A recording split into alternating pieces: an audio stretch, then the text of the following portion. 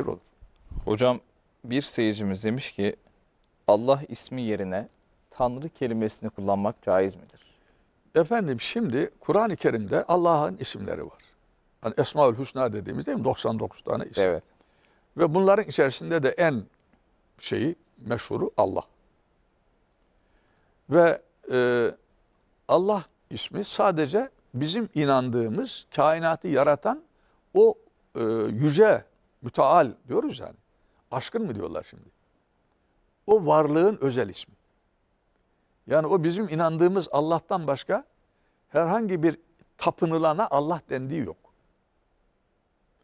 Ha, şimdi ama ilah var, tanrı var değil mi? Evet. Farklı dinlerde farklı e, a- e, inanılan o kutsala verilen isimler var. Ama bazılar gerçekten bizim inandığımız Allah'a inanıyor. Ama ona başka diyor. İngilizce'de God mı?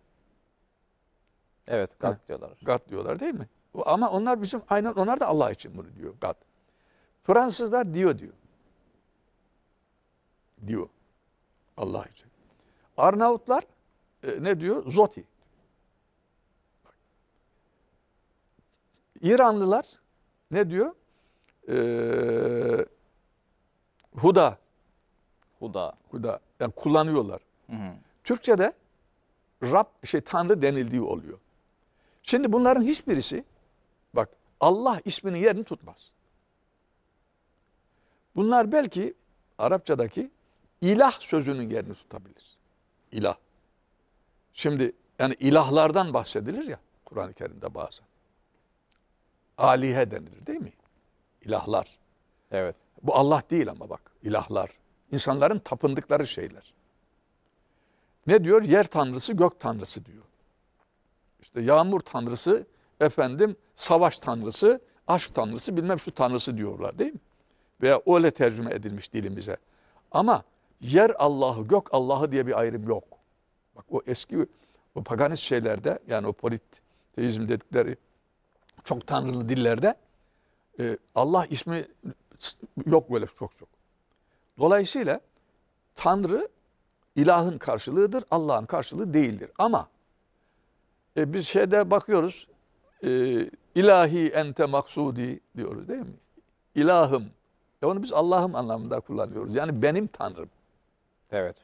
E, şeyde de var, e, bazı bizim eski şiirlerde de var değil mi? Tanrı, Tenkri Hı hı. var. Yani bu daha çok tamam Allah için Tanrım dene, diyebiliriz. Tanrım. Ama şunu so- sorsam ben sana. Tesbihi aldın eline Allah, Allah, Allah, Allah çekiyorsun.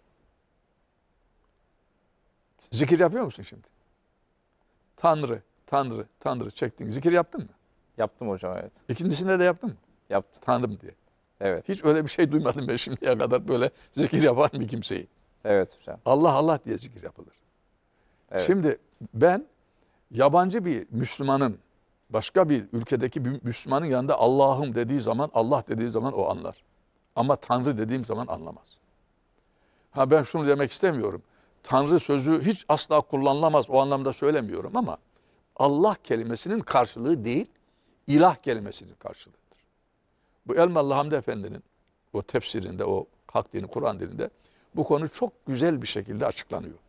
Yani Tanrı kelimesinin Allah kelimesinin yerini tutmadığı konusu.